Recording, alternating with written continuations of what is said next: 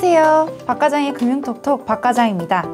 불안정한 경제 상황과 금리 인상의 끝이 보이지 않는 현재 이럴 때일수록 더욱 적절한 자산 관리가 중요할 것 같은데요.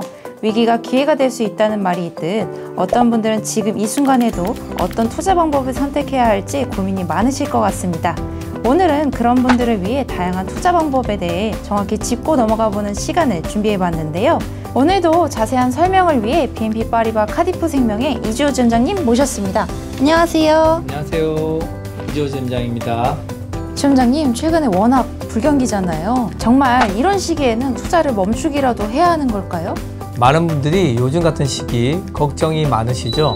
하지만 돈이 일하게 하라는 말이 있듯이 이럴 때일수록 각 투자의 특성을 정확히 파악하여 역경을 이겨내셔야 한다고 생각합니다. 근데 투자에도 정말 많은 종류들이 있잖아요. 요즘 같은 시기엔 주로 어떤 투자를 많이들 하시나요? 많은 사람들이 다양한 방법으로 투자를 하시지만 3, 40대 분들은 주식을 많이 접하시는 것 같습니다. 하지만 주변을 보면 주식을 멋 모르고 접했다가 손해를 보시는 분들이 정말 많습니다. 시청자 여러분들 중에서도 이상하게 내가 사면 내려간다는 느낌이 드는 분 많으실 것 같은데요. 그 이유는 주식을 대략적으로는 알고 있지만 정확한 개념을 모르시기 때문일 수도 있습니다. 주식이란 주식회사의 자본을 구성하는 단위인데요. 법인이라는 실체를 만들어 뜻이 같은 사람과 돈을 합쳐 사업을 진행해 보자는 것입니다. 여기서 돈을 합친 구성원들이 주식의 주인, 즉 주주가 되는 것입니다. 그래서 가끔 주주총회 안내가 오는 거군요. 그렇죠. 여기서 주식회사는 최소 자본금만 합쳐놓고 신고를 한다면 설립을 할 수 있는데요. 그런 회사들은 소득세보다 법인세를 내는 게 더 유리하기에 만들어진 회사로 비교적 리스크가 크다고 볼 수 있습니다. 하지만 걱정 안 하셔도 되는 게 일반인들은 통상 이런 회사들에 투자할 일이 거의 없습니다. 대부분 코스피 시장에서 거래되는 상장 법인에만 투자하기 때문이죠. 여기서 코스피란 주식 거래가 활성화되어 쉽게 사고 팔 수 있는 거래소를 만들어 보자는 취지로 생겨난 것이고 이 코스피에서는 좋은 기업으로 선정된 상장법인만 거래할 수가 있습니다. 따라서 일종의 엄선된 법인에만 투자한다고 보시면 됩니다. 코스피에서 기준을 낮춘 것이 코스닥이라고 보시면 되는데 등록된 모든 법인의 주식수에 주가를 곱해 수치화시킨 것이 코스피 지수, 코스닥 지수가 되는 것입니다. 쉽게 말해 코스피 지수가 떨어졌다면 코스피에 상장된 법인들의 주가가 평균적으로 내려갔다고 볼 수 있는 것이죠. 이러한 주식의 장점은 직접 거래를 진행하기에 짧은 시간 안에 큰 수익을 얻을 수도 있다는 것이며 단점은 그만큼 리스크가 크다는 것입니다. 단적으로 코스피에 선별된 기업들도 손실이 날 수 있고 시간이 지나 기준에 못 미치게 되면 상장 폐지라는 것을 당할 수도 있습니다. 그렇게 되면 주식이 휴지 조각이 된다는 표현을 쓰게 되는 거죠. 따라서 주식은 단순히 정보를 듣고 하는 것보다는 세부적으로 기업에 대해 파악한 후 그 기업의 방향이 내 뜻과 맞고 손실을 감당할 수 있을 때 거래하시는 것을 추천드립니다. 최악의 상황인 상장 폐지에 대한 의견을 드리자면 보유한 주식의 회사가 뉴스에 상장 폐지 실질 심사라는 단어가 보이면 일단 매도하시는 것을 추천드립니다. 용어 하나하나 정확한 의미를 알게 되면 조금 더 빠른 대처가 가능하겠네요. 맞습니다. 사실 제가 방금 말씀드린 것들은 주식뿐만 아니라 투자를 하시려면 기본적으로 알고 있어야 하는 부분 같습니다. 간접 투자의 경우에도 사항은 알고 있어야 하니까요. 간접 투자 얘기를 하니까 생각나는 게 펀드 얘기를 또 빼놓을 수가 없는 것 같은데요. 주식만큼 펀드 투자하시는 분들도 많으시죠? 네, 맞습니다. 아무래도 주식은 배우는데 시간이 너무 오래 걸리고 리스크가 너무 크다 보니까 펀드를 이용하시는 분들도 많습니다. 펀드란 금융기관에서 만든 펀드 상품에 개인 투자자가 가입하면 모인 돈을 펀드 매니저가 주식, 채권, 금 등 다양한 곳에 투자하게 됩니다. 이러한 투자를 통해 수익이 나면 펀드에 돈을 낸 사람들에게 납부 금액만큼의 비율에 따라 수익을 나누어 주는 것이죠.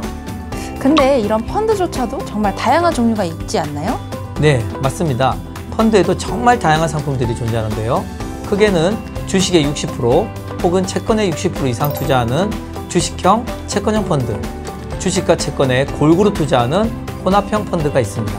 조금 더 세분화하여 주식 60%, 채권 40%식으로 비율을 직접 조절할 수도 있습니다.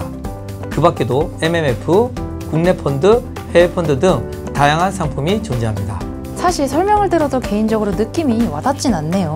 네, 맞습니다. 펀드는 바로 그렇게 투자에 완벽히 잘 모르는 분들을 위한 투자 방법이라고 생각하시면 되겠습니다. 또한 말씀드린 것처럼 분산 투자를 진행하기 때문에 비교적 손실이 적고 안전한 편이라고 말할 수 있겠습니다.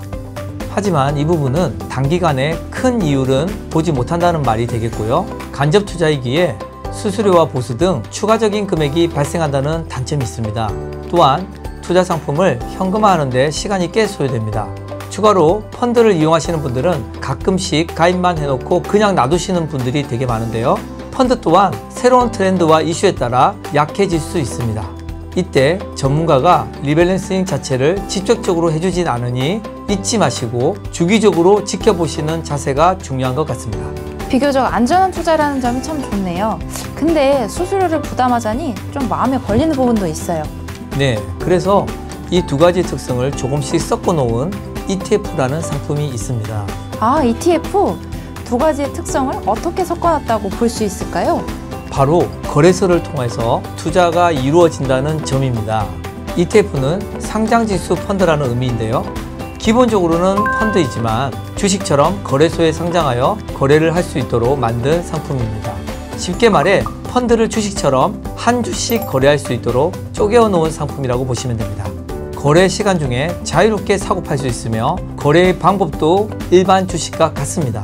펀드이지만 직접 거래하기 때문에 추가 비용이 들지 않습니다. 그렇군요. 이런 ETF도 상당히 많은 종류가 있는 것으로 알고 있는데요. 네, 맞습니다. 크게 분류하여 시장 대표 지수, 섹터별, 스타일, 채권, 원자재 ETF 등 다양한 ETF가 존재합니다. 시장 대표 지수 ETF는 가장 기본적인 ETF로 코스피, 코스닥, S&P 500 지수 같은 시장의 대표 지수를 따라가는 ETF입니다. 섹터별 ETF는 금융, 에너지, 기초 소재 등의 산업군이 있는데요. 그 안에 담겨 있는 주요 업종 섹터에 투자하는 ETF이고요. 스타일 ETF는 특성이 비슷한 종목을 모아서 만든 ETF를 뜻합니다. 채권, 원자재 ETF는 말 그대로 채권과 원자재에 투자하는 ETF를 뜻하죠. 그런데 이렇게 많은 종목들 중에 선택을 하기엔 일반인들이 다소 어렵게 느껴지지 않을까요? 네, 맞습니다. 사실 ETF는 주식과 거래 방식이 같기에 본인이 직접 매수나 매도를 해야 하는 점 때문에 투자 초보자분들은 불편해 하실 수도 있는데요. 그럼에도 분산 투자라는 점에 비교적 안전하고 장중 시장 가격을 보며 당시 가격에 빠르게 거래를 할 수 있어 반응이 좋습니다.